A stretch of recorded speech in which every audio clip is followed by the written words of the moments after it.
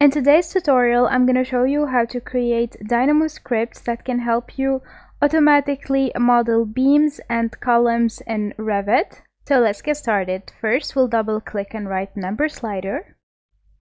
Choose the node and then create three copies of it by simply uh, selecting it and pressing on control. Next, we will double click and create a, a code block and type 2 inside it. Then we will change the values in our number sliders to, for example, 40, 10, and 40. We are currently creating the grid system for our frames. Next, we will double click and write range. The code block output will be linked to the start of the range node and then the uh, first two number sliders will be connected to the end and the step of the input of range. Now we will find by coordinates node the x, y, z point by coordinates and we will link the less to the x input. Next we will copy the node and go to the third number slider and connect it to the y coordinate. The next node we will need is line by start point end point and the first point will be uh, linked with the start point and the second one will be linked with the end point. Now we will go to the right library and look for grids, by line grid, and simply link the output of line by start and point to the input of the grid and then select them all and create a, a group. We can obviously change the color of the group, the font, the size. Now we'll give it a name, grids A, which will be the grids following the x coordinate.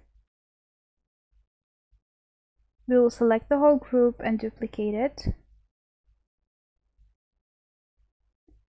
Give it a different name because these are going to be the grids following the y coordinate. We're going to do a couple of changes here. We'll go to point by coordinate and change the uh, input from x to y. And then we'll go to the third number slider and link it to the x input in point by coordinates. And we can view it both in Dynamo and in Revit, our grids system.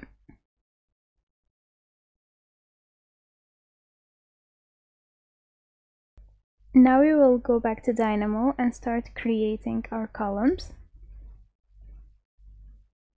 First we will choose Geometry Intersect node.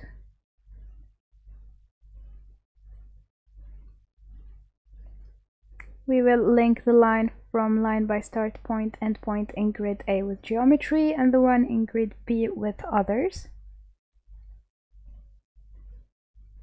Now we will find geometry translate node by writing translate and we will link the geometry output with the geometry input.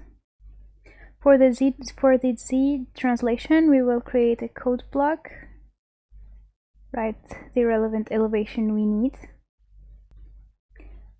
Make sure that you go to geometry intersect, right click and go lacing and make sure that it's cross product.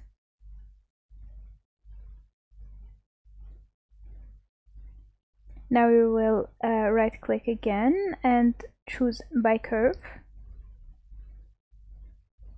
Go all the way down to find column by curve.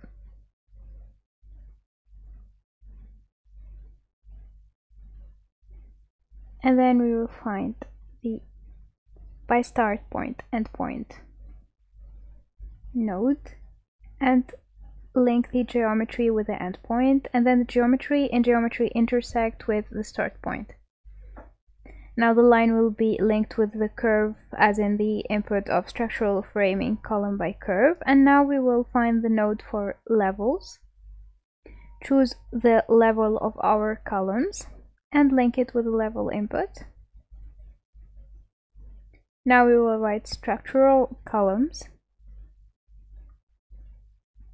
and find structural columns type node choose whatever type we want to work with and then link the input with the uh, the output with the input in structural framing column by curve and once we check we check in Revit we can find that our columns has been uh, created so now it's time to start creating our uh, framing structural framing for this design we'll create a code block.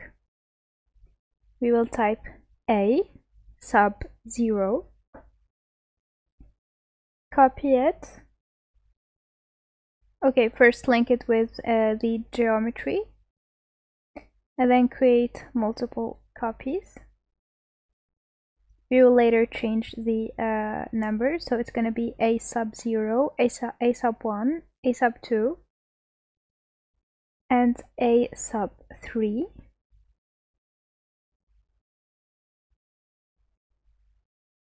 now we will find the by start point endpoint line by start point endpoint node and create multiple copies of it actually for this example we're only gonna need three and make sure that you link the first line with the start point of the first node and with the end point of the second node. You can follow here and understand the concept. You'll, you'll get it later. That's how we'll be creating our uh, framework. A sub 3, the endpoint of the final node, and A sub 0 is the start point of the first node. We and as we can see, we have created the lines of our framing, of our structural framing. Now we just need to add the uh, geometry, the 3D geometry. We will go to by line by curve, or beam by curve, sorry. Structural framing beam by curve then we will go to list create add three uh, items we will link each line with uh, one item in our list and then create uh, link the output of the list create with the curve in structural framing beam by curve now we need a node to set the level of our framing we'll go to levels choose our level link it. And now we will find the node that would help us choose the structural uh, framing type, which is structural framing types.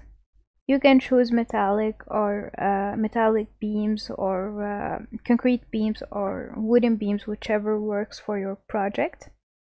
And simply link it. And now we will go to Revit and check around our model and we can simply see our framing and uh, beams.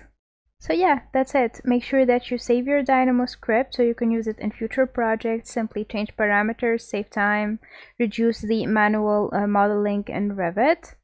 And if you're interested in content like that, you can check around my videos in my channel and obviously uh, like and subscribe if you like this video. Thank you for watching.